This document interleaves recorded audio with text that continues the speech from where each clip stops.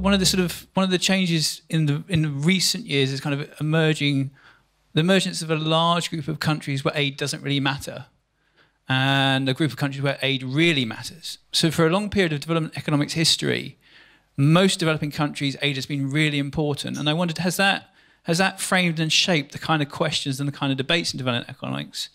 And if there's an ever-growing group of countries where aid doesn't really matter, is that going to really shape the future of development economics? Because it'd be different types of questions, perhaps.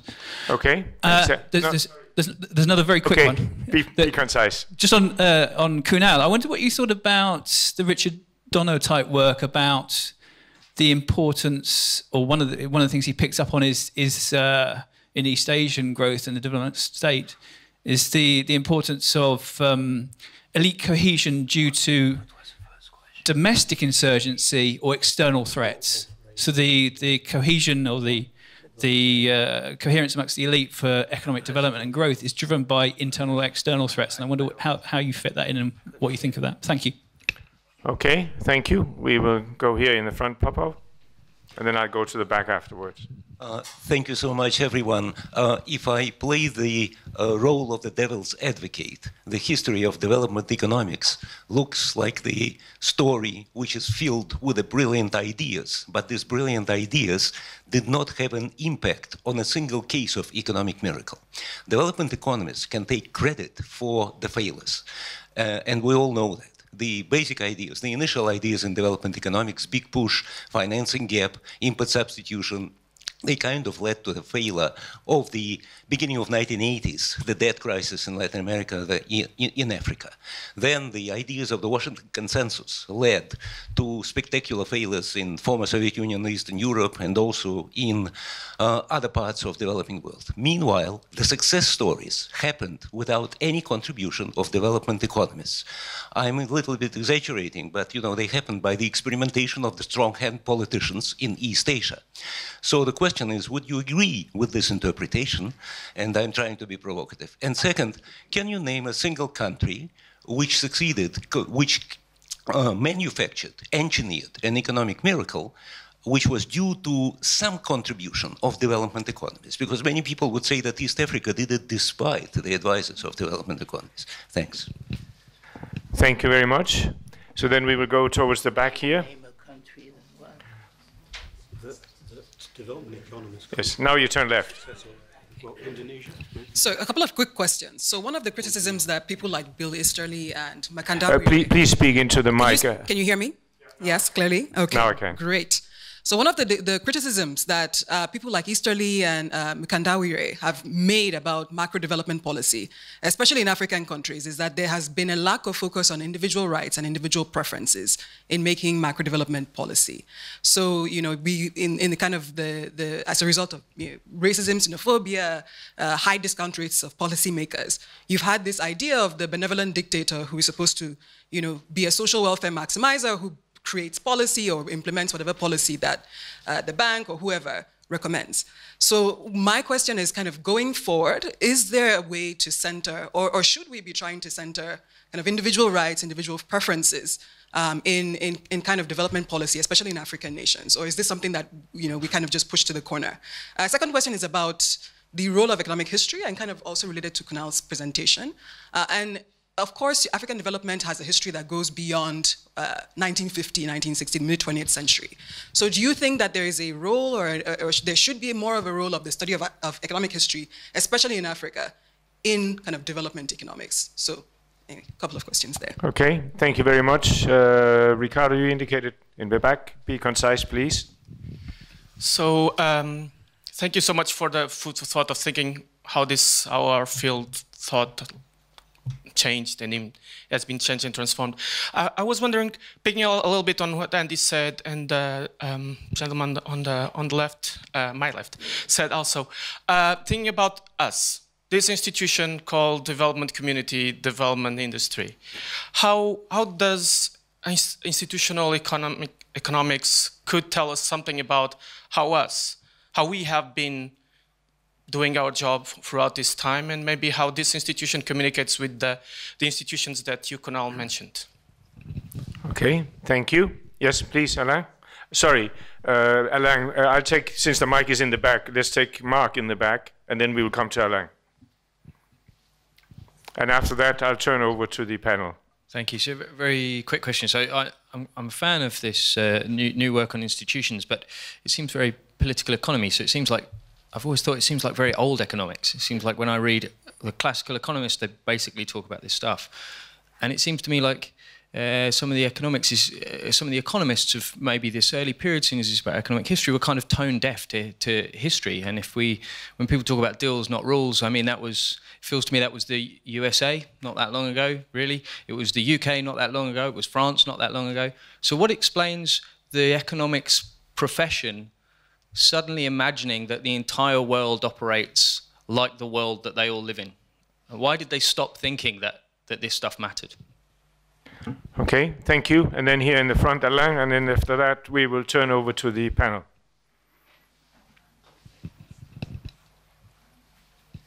Three, three great presentations, but one dimension which seems to me has been systematically missing is the role of the people. The deals have limits, the street exists, revolutions have happened, and there is indeed a limit to how much you can exercise power, and the limit to power is how much people are going to bear. And this we have to take it into account.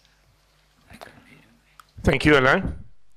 I will turn now over to the panel. Um, can I ask that we do it in the sequence of the presenters? So Eric first, Tony next, and Kunal last. One of the very few. And, and sorry, and the and the the sort of more concise you are, the more questions we can get. The more concise you are in your your reactions, your replies, the more questions we can get before we stop. Do you want me to start? Absolutely. uh, one of the very few advantages of old age is that you get to be deaf. So, uh, uh, I, and of course, you can use it in a selective way, selective hearing.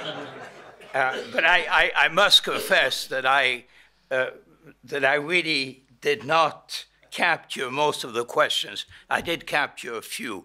So let me try to answer at least one that I heard, uh, and I think it was yours. Can you name any country where the development economists had any impact? Uh, I think I can name quite a few. And let me just, given, of the, time, given the time constraint, let me just mention one, uh, Indonesia. Um, I, I, I was personally involved in Indonesia I would say from about 1870 to 2000.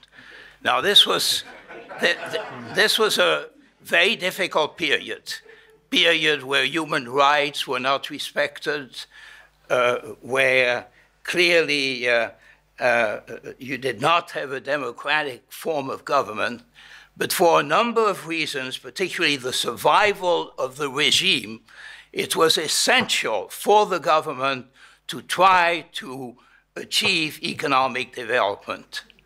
Um, and that was essentially for political reason. They knew that the, if the poor did not benefit, if uh, the uh, uh, growth and the benefits of growth were not spread among the various regions and various islands, this would create more conflict. And they really needed the advice of development economists. Now, it so happened that uh, the Ford Foundation had uh, started a program at the University of California at Berkeley um, to train PhD, Indonesian PhDs in economics. That led to what has been called the Berkeley Mafia. At one time, there were four ministers in the cabinet who had PhDs in economics. Um, and these people were extremely influential and basically followed eclectic policies, but pro development, pro poor policies. So, um, very respectfully, I would disagree with, I think, the assumption behind your question, which is that development e e economists did not make any contribution. And of course, I could give you many other examples. Okay, thank you very much, Eric. Tony? Um, I, I, guess as I reflect on the questions, I, I think about the um, the role of medicine and economists, to my mind, um, uh, resemble nutritionists and physiotherapists and people engaged in preventative medicine. And in some ways, we're, we're here to advise countries to on things that they should really avoid. Um, I mean, you can see that in the natural resource sector, which I've been working on. We know that um, if you have oil, gas, and mining sectors, you can get yourself into ter terrible trouble and get the revolutions that Alain referred to. Um, and, the, and the trouble is that, you know, once the patient has not taken the advice or taken it badly and is on the table, um, we're in crisis management. And we're in crisis management with, with often very kind of rusty surgical tools because we don't have enough finance, we don't have a, a proper um, trade system, etc., etc. Um, and, and, in uh, in other ways, uh, the the issue uh, uh, also comes down to the role of, of technical assistance in development, for which I still think there's an enormous need.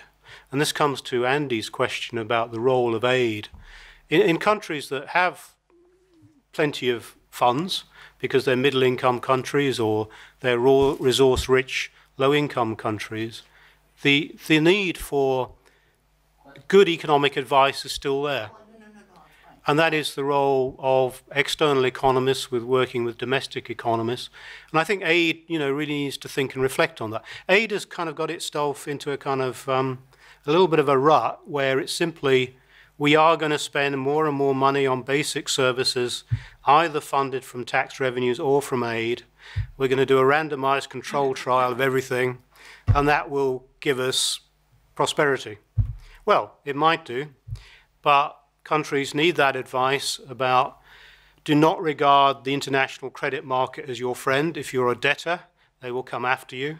Do not misalign your exchange rate try and diversify your economy, etc., etc. So technical assistance and lessons actually from economic history, because economic history, thankfully, has, is full of crises and they're excellent lessons. It's like military disasters. Military historians always look at military disasters, the most illuminating things you can see.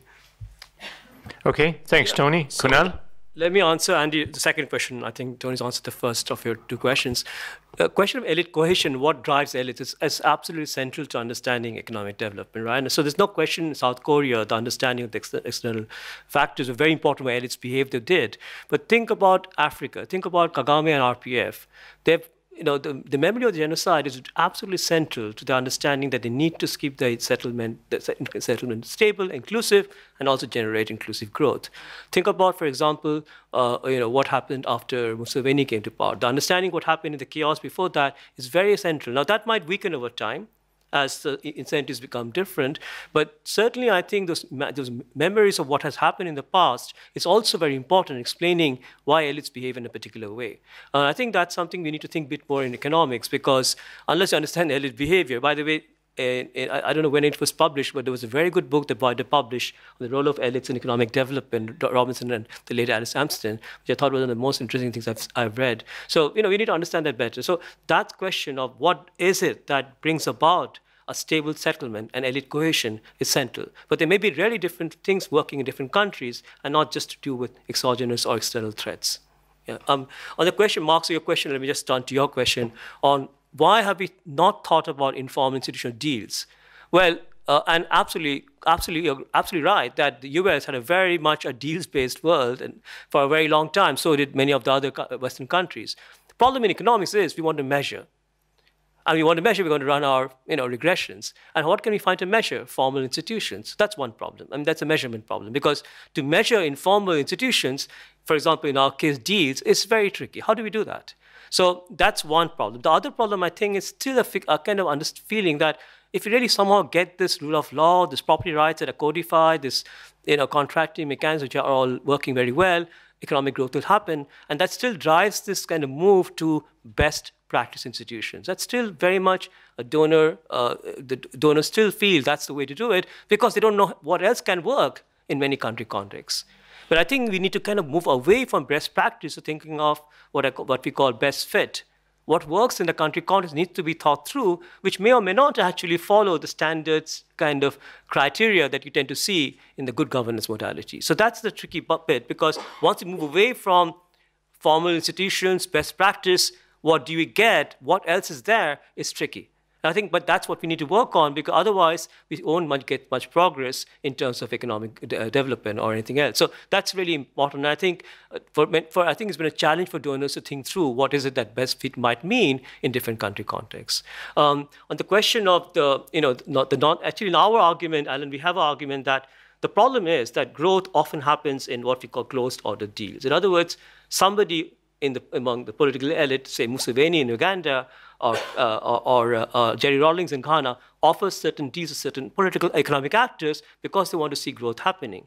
Now, the closed order deals often gets challenged by non-elites. We saw that in India in the 2000s. The, I have a paper on this and a book where the argument I make is that the, the, growth was fantastic in India at that time, but it was essentially built around close order deals, around crony capitalism. And that was challenged by civil society, by the middle class, by, uh, by anti corruption agents, and so on. So the problem really is that you, at some point, at some point, if not a revolution, but some other way, the civil society, the middle class, uh, non elites can play a role in mobilizing against elites. And that often explains why we often see a situation where growth simply stops, but for very good reasons. But the growth was built around institutional foundations which were very weak. Thank you, Kunal. Um, I'll have two more questions. Be very brief because otherwise I will be blamed. Okay. Two very quick questions. To get the provocative one in, would any of you like to comment on the premise that what are the institutionalists like Acemoglu and Robinson who have been telling us that the US and the UK are the gold standards of institutions which should always start. What are they going to say now that both of those countries have demonstrated that their political institutions are inherently fragile? Okay, the lady just behind. Are you dropping out? Yeah, no, okay. One last one. Sure, another provocative question. Is this working? It's not. No? Okay, can you hear me? Please speak up. Um, Tony apologised for the gender ratio of the panel. Um, can you comment on gender equality in the development economics research? I recently read in the the Economist, the number of female economists coming into the field is going down. Um, is there something more we should be doing? Yeah. Thank you very much for that question. I could add something in the very, very end, but uh, can I ask Kunal to address the first question and then Tony and then Eric? I think, Oliver, the point really is that there's nothing that's sort of set in stone, right? I mean, the so-called, that's why I was saying that this inclusive institutions argument of Asbel Robinson is not particularly very interesting to me. Because what is inclusive and why exactly remains inclusive is a very open question, because what we see in the UK are, it certainly goes against some of the tenets of the argument they make about inclusive institutions. So institutions themselves change. And maybe the argument is that it's all in a continuum, right? Things are changing. And even in developed countries, institutions change because, for various reasons, uh, other fact, a lot of factors come to play. Uh, Trump is a good example where when we talk about rules capitalism, is that the case now in the US? you know? so, uh, so I think these are an important question, which is why I think we should not start seeing things in sort of where in black and white, and we understand institutions are themselves all, this, all the time evolving for very good, for very different reasons. Okay, Tony. Yeah, I think we have a real problem, as um, the speaker indicated, of um, the gender balance in economics. Um, if I could speak for, for WIDER, because you know, we could make broad statements about the need for us to all, you know, move towards gender equality in economics as a profession. But if I could speak for WIDER, uh, over the last uh, 10 years at least, we've been pushing very hard to raise the number of female economists, particularly from the developing world, that are involved in our programs. And I think our current metric, is it 40%, Finn? I, I don't know what, which specific measure you're referring to, but basically half of WIDER's research output is co-authored by women. Yeah, or single authored. Um, so we count it in various ways. And we have those metrics and you know, we hold ourselves against that. Um, I've been at a number of conferences. The reason I've made the remark is I've been at a number of conferences where um, the balance has been completely out of line. Uh, we try and maintain the balance across the conference, just for various rather dull reasons. We just have an all-male panel at this conference. Uh, if I may briefly just say to Oliver, um, uh, it's very interesting that David Cameron uh, launched a, a, commission on fragility. Uh, after also launching a referendum which has made Britain a fragile state. But I'll pass over that. and, and, I, I, and, I, will just say uh, follow on, me on Twitter for my rants about Brexit. Okay, Eric? Um, I'm sure you're getting hungry. I, am getting hungry, so 30, 30 seconds. Um, um, I think your question is, is very well taken. Um, we are now testing whether the institutions that we believed were perhaps, if not the gold standard, the best institutions available, US, UK, whether they can withstand the ongoing storm. And, and I, the question, I mean, if you had asked me five years ago, I would have been quite optimistic. I would have said, no question, the uh, uh, democratic institutions in place are strong enough to withstand a real storm. Today, I am much less optimistic. And this really raises the issue of uh, what is a democracy? Uh, you can have a democracy in, in form, in name, but not in reality. And I think what we see happening, uh, certainly in the US, I don't want to speak about the UK, uh, is that the form of government right now is no longer democratic or, or at least the democratic institutions, the Constitution, is not being followed in the way it should be followed. Um, and this raises the issue of are there really optimal institutions or are institutions something that are context specific, have to be uh, have, have to be created in the light of the initial conditions which exist in countries. And I would tend to believe that that is the case. I don't think you can come up with one model that fits all possible cases.